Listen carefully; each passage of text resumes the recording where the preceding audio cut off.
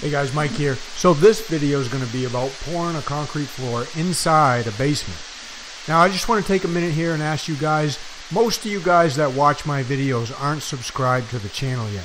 So if you like concrete, if you like this video, if you enjoy watching concrete videos, please go ahead down there and hit subscribe now. Hit the bell notification. I come out with a couple videos a week and I'd really appreciate that. So what we're doing is we live in Maine, and in Maine we have a lot of freeze and thaw cycles. So most of the homes that are built in Maine have these concrete foundations, and these walls, the footings on these walls will be four feet below uh, finished grade level on the outside of the house. So the frost in the ground doesn't usually go down below four feet. That way, these walls will never move, and the house will never move in the winter. So we we get to pour a lot of these concrete floors inside basements like this. Probably probably a hundred of them a year at least inside a basement. Now this one we didn't have that great of access to. We can only get the concrete trucks to that one side over there. So we had to use a couple different size chutes and uh, what we call like a, a hopper type boot when we're pouring the concrete over the wall. That way we don't get splattered with concrete.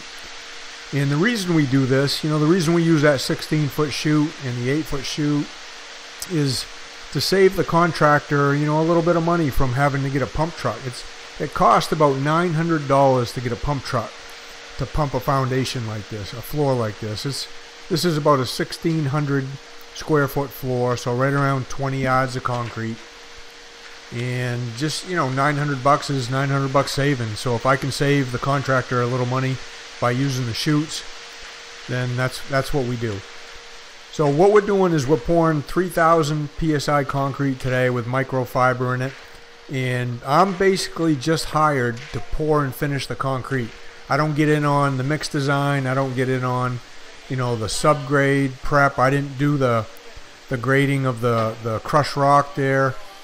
Um, I don't get in on any type of like vapor barrier if they want that or if they want wire mesh in this, that's that's up to the general contractor, not me. I'm just the subcontractor. So, and I'm working for the foundation guy here today. And the foundation guy, he's right there on the right in that white shirt. He's the guy that did the foundation. His name's Jim. So he does really good foundation work. If uh, you know, if you if you need a foundation like this and you live in Maine, just leave a comment below and I'll I'll hook you up with Jim. But let me know let me know down in the comments, guys. Number one, you know, where are you from? What state are you from? And, and do you do concrete floors or foundations similar to this in your state?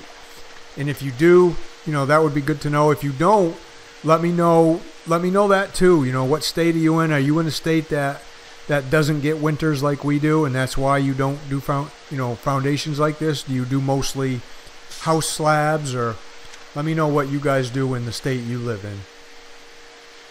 So we're getting we're pretty much getting that 10 yard truck dumped out. And because we got a couple extra hands today helping us, we can have a few guys doing one thing and some of us doing another. So we're getting our pads all magged around the outside edges to floor grade. And then we shot some pads in the middle using the laser and struck those with a regular 2x4 magnesium screed. And now we can use those to go by to use the the power screed here, the ScreeDemon from MBW. So this makes it pretty easy to screed floors like this when you're using a vibratory screed. Really, the most of the work is done by the two got the two people raking. I got Tia over there on the left and Luke on the right. They're both really experienced rakers, so they really make doing the, the using the ScreeDemon pretty easy. You see, we got a little bit too much concrete in there, so they had to pull some out. And now we'll just we'll finish that bay while the other guys get the rest of that truck dumped out. That way we can get the truck right back to the batch man and you know he can load it out for somebody else. That's why they, they like pouring for us because we dump these trucks right out fast and then they get them back and then they can re rebatch them to somebody else. And when you do that on a daily basis, you know, then you call it for concrete last minute, you, they'll usually go out of their way to try to help you out. That's what we found anyway. So Luke went up there with a little hand screed and did that little piece up there. Now he's going to grab the the ScreeDemon and pull that bay down with Tia raking the concrete behind him. And then we'll get that bow floated. Now the bow float we're using in the hand screeds are from Marshalltown. So we try to get most our, our hand tools and our finishing tools, the ones we use by hand from Marshalltown. Um, I'll have a link for all those stuff down in the description if you want to check them out.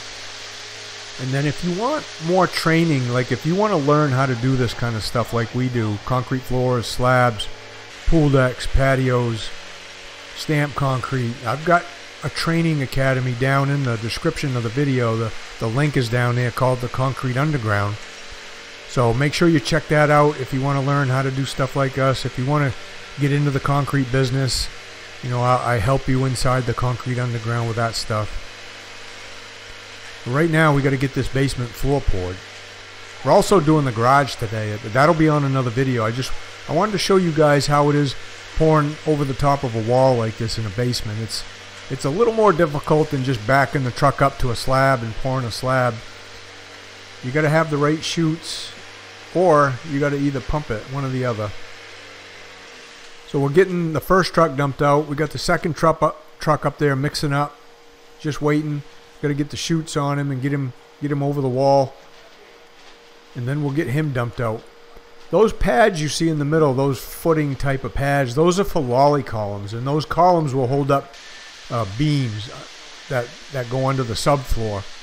So those are load-bearing pads in this foundation, and then they'll run their floor joists, you know, across over the top of those beams, and then build the house up from that. But that's pretty common construction here in Maine. So we're starting on this second 10 yards. We'll get this dumped out. We'll get most of it dumped out, then we'll start screeding it. We, are pouring probably around a 6 inch slump. All the concrete we use for our floors has what's called a mid-range water reducer in it. And that's put right in at the batch plant. They put that right in.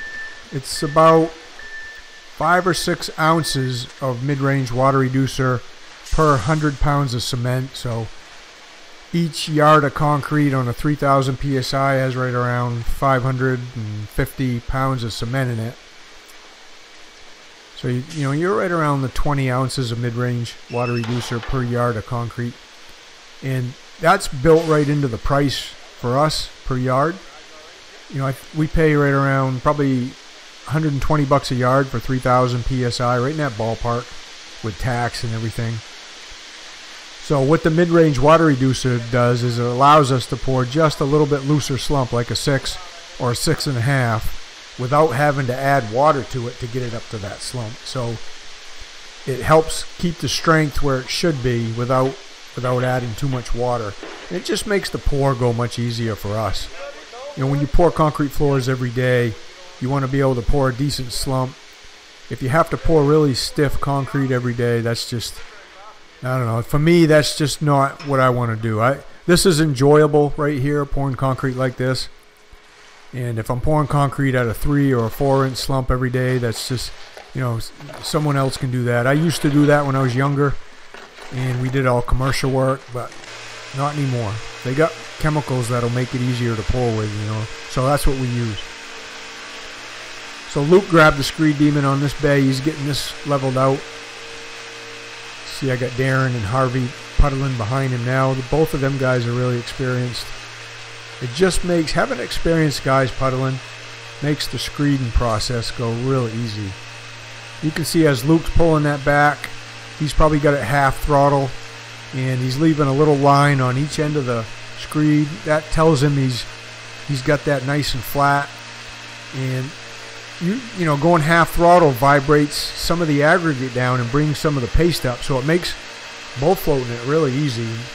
You know we don't have to use bump cutters or or really really wide bow floats to level out our floors after we screed them because they get pretty level just the way they are. You can see we use that four foot bow float and it's got rounded edges on it and there's no there's no gaps under it when we bow float there's no humps there that he's got to take out everything's just really nice and level.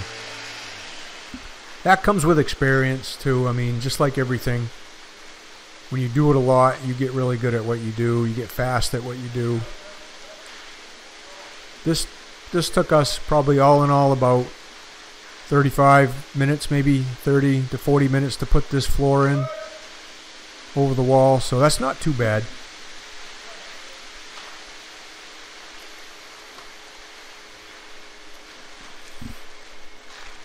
So Luke's going to finish out that bay, then he's going to turn it and come out the other side. You can see we got that kind of what we call a boot on the end of that chute from the concrete truck. And that just helps keep the concrete from splattering too bad so we can kind of put it in the place we want to put it in. It just makes makes everything go a little bit easier. I'll have a link to one of those down in the description if you guys want to check them out. We use those all the time over the wall like this. I mean, if you don't pour over the wall, you're obviously not really going to have a need for one, but for guys that do floors like us or even footings inside a, you know, a hole like this, that would be pretty handy. You can see how easy it is screeding with that ScreeDemon. That, that thing just takes a lot of the work out of screeding a concrete floor.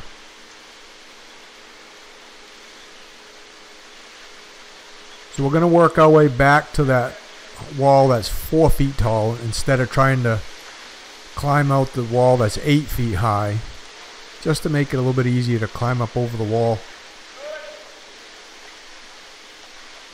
This one was, you know, pouring around this foundation like this is something that we don't we don't usually pour around these if they're not backfilled on the outside.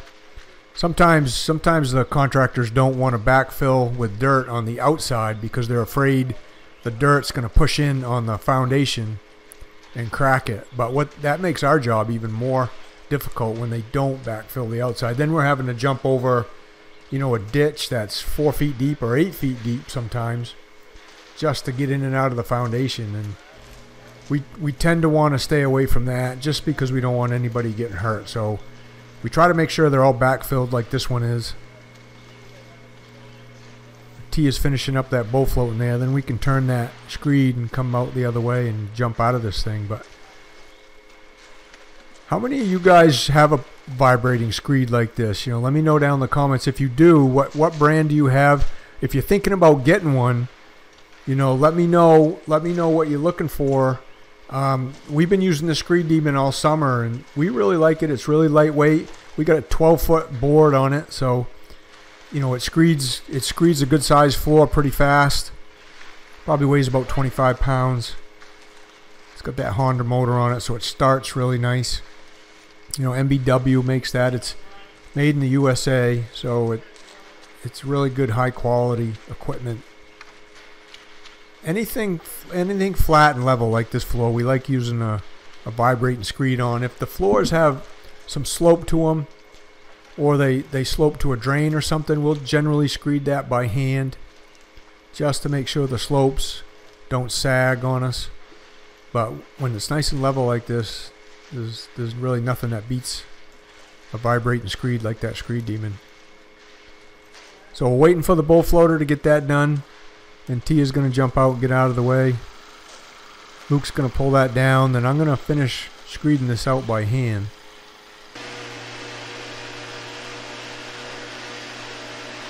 Let me know what you guys think. Do you think it's pretty difficult pouring over a wall like this? Or have you never poured over a wall like this? You know, whether you live in Australia, Canada, England, you know, wherever you live, let me know if you guys pour concrete floors inside basements like this. So we got a little too much concrete in there, which is, I guess that's better than not having enough and having to bucket it in. So Luke's just pulling a little bit of Creed out with the bucket. We'll just dump it over the edge. And then I'm going to grab like a five foot screed and get myself screeded right out of this thing. Then we can jump up there and do that garage after. We probably got about, I don't know, about a wheelbarrow too much concrete in there. You can see as I screed like that, I'm kind of kicking kicking my, my boot prints and filling them in as I kick so I can just keep moving backwards. Luke's just keeping an eye on me, make sure it doesn't get too low. That's when screeding gets hard, is when the concrete's too low behind you and you gotta constantly stop to fill in. You always want to be pulling back just a little bit of concrete when you're screeding. It was really hot today too. It was this was a stretch of weather where the temperatures were in the 90s and then inside a foundation like this it's probably 10 or 15 degrees hotter. It's just like an oven inside there.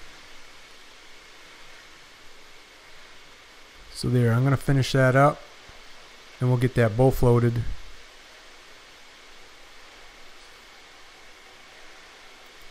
Well, that's it, guys. That's how we pour a concrete floor inside a basement like this. Thanks for watching. Again, subscribe if you haven't subscribed. If you like these videos, please hit the like button, share it with your friends, and we'll see you on the next one.